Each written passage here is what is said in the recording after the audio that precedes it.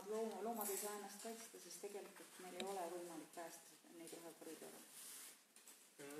erisituatsioonid on erinevad, aga ma tahtsin tegelikult seda küsida, et, et kus on see kaalumiskoht, et kui nüüd selgub näiteks hüpoteetiline olukord, kus äh, antud juhul tõesti, et eraomanikul on juba olnud kaks viimast ähm, planeeringut, on olnud see kollane ala, kus tal on tekkinud õigustatud ootus, aga nüüd on selgunud, et, et see koridor katkeks ära, üldse kat-, katkeks ära kahe tuumala vaheline liikumine ja rohekoridorid, nagu me enne rääkisime, rohevõrgustik on ju tegelikult äärmiselt riikliku tähtsusega objekt. Ja kui koridor katkeb, liikumine katkeb, siis see on tegelikult ju ka suur katastroof, ehk siis et et kust läheb see kaalumise koht nüüd ja milliste hoobadega otsustajad ja kes need on need otsustajad, kes siis ära otsustavad, kumb on nüüd siis kaalukausil äh, õigem, kas kohalik omavalitsus et selle koha pealt viskab nagu riik kohalikule omavalitsusele ei, lihtsalt, ehk kuidas ma ütlen, et, et maakonnaplaneering on liiga üldine sellise asja lahendamiseks, eks ju. et ja, ja ühel hetkel selleks, et see asi saaks nagu, nagu päriselt ellu, peab ikkagi jõudma kohalikule tasandile. aga, aga kohaliku... kahe tuuma vahele vahelist liikumist koridori peab tagama ju riik, ei pea. selles mõttes, et, et, et, et elluviimine ikka läbi üldplaneeringu ja detailplaneeringu. -hmm.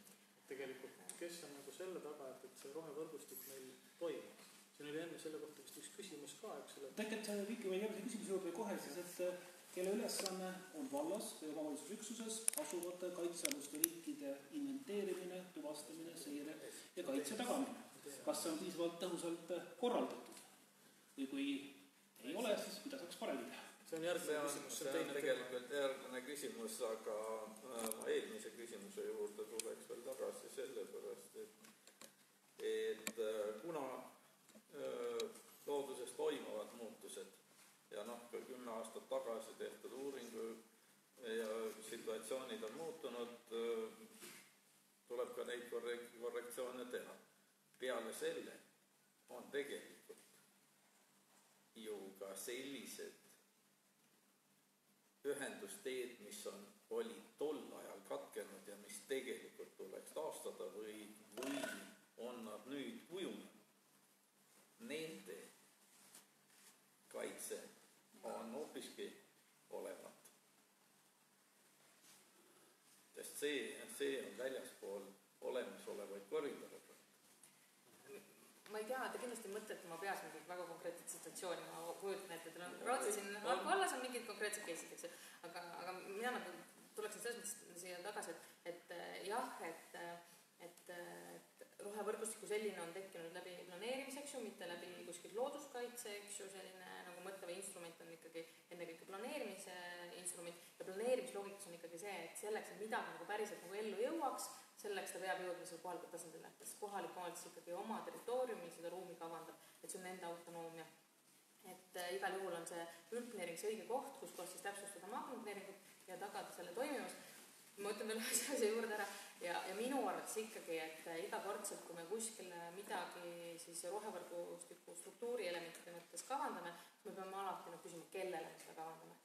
Et kas me seejuures peame põdraga arvestama või mitte, eks ju, et kas see on nagu see koridor, kus põder peaks saama liikuda või mitte, eks ju, illustreeritud, et et ikkagi, et minu arust ikkagi niisugune ja, ja noh, kui me räägime eraldi ökosüsteemi teenustest on ju, et, et kuskil peab saama ka inimene liikuda, eks ju, et ma ei tea, korjata endale marju või, või rekreatsiooni mõttes seal käia suusatamas või, või jalutamas, eks ju, et need kõik asjad peavad ära mahtuma ja, ja selliselt seda siis peab vaatama. et minu arust on hästi oluline see, ikka see milleks ja kellele ja kus noh, siin, siin jõuame ka selleni, et kui, kui esimest äh, maakonna või üleriigilist planeeringut tehti, või maakondade tasemel neid rohevõrgustikke, siis kahjuks äh, vaadati ainult äh, tõesti suurulukeid.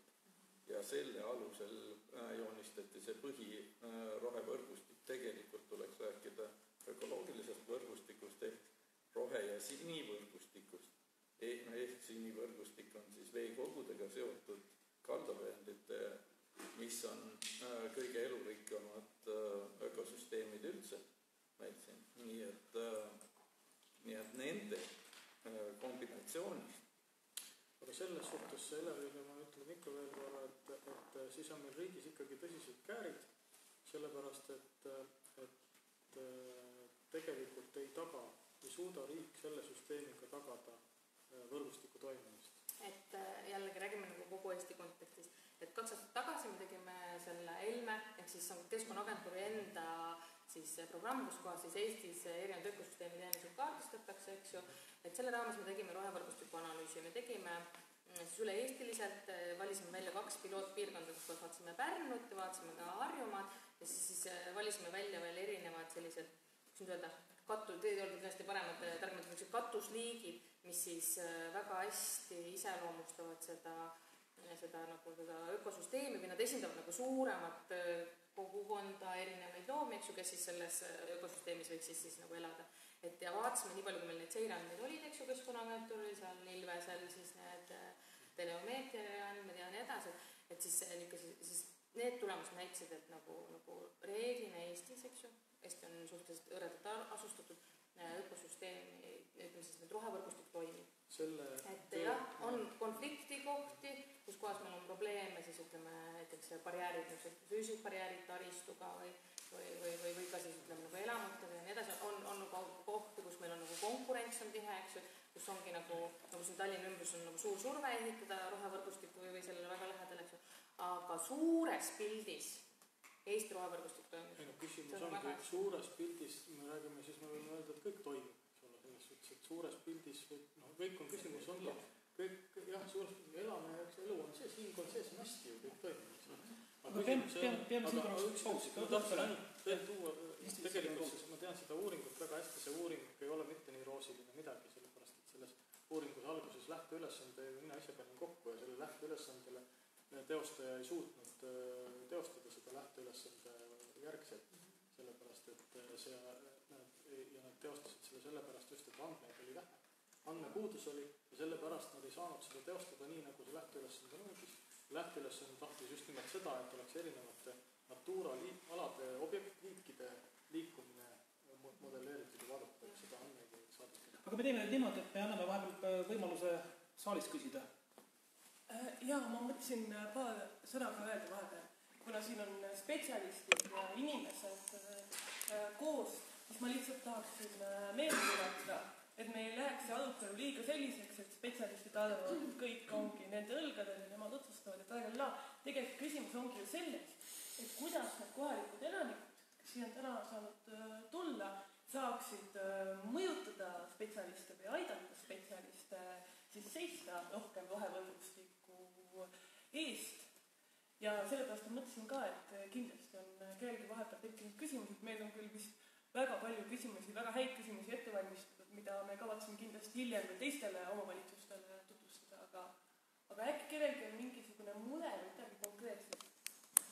Roland. Roland, Tartu järve küla, praktik, elanik, võitlemaks rohevõrgustiku säilimise eest Tartu järve rände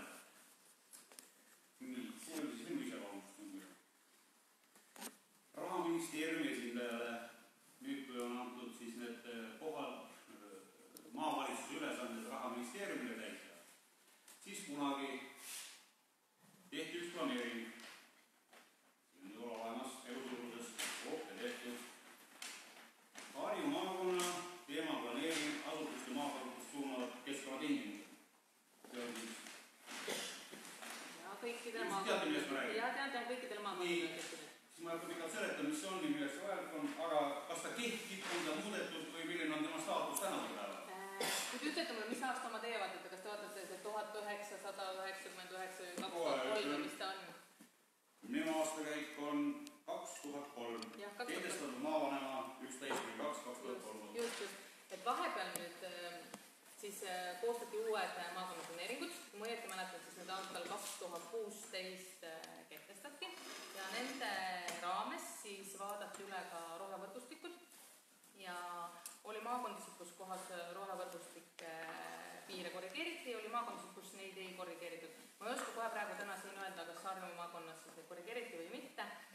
mul, mul, ma mõtlen, et vist ikka korrigeeriti, nad tegid seda selliselt, et, et nad äh, või küsisid kohalikelt omavalitsustelt nende rohevõrgustiku piirid ja tõstsid neid siis sinna maakonna planeeringusse, aga ma võin selles mõttes eksida, ma nii täpselt ei tea, ma jah, selles töörühmas ei töötanud, aga jah, see planeering, kui joonis, mis teil praegu käes on, see konkreetne on kehtetu, et te peate vaatama kehtetu, maakonna... mis kuupäevast, mis kellaajast?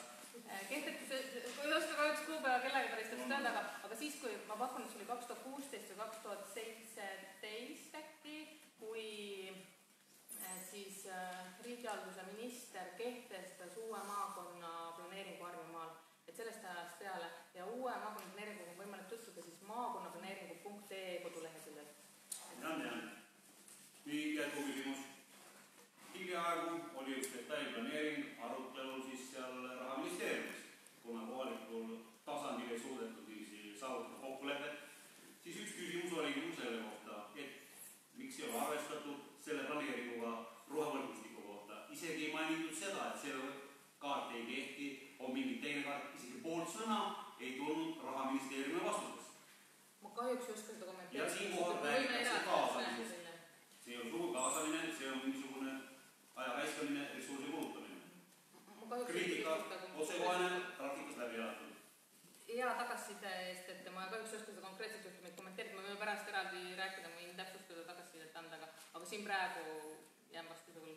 kas on veel küsimusi kellelgi või teema?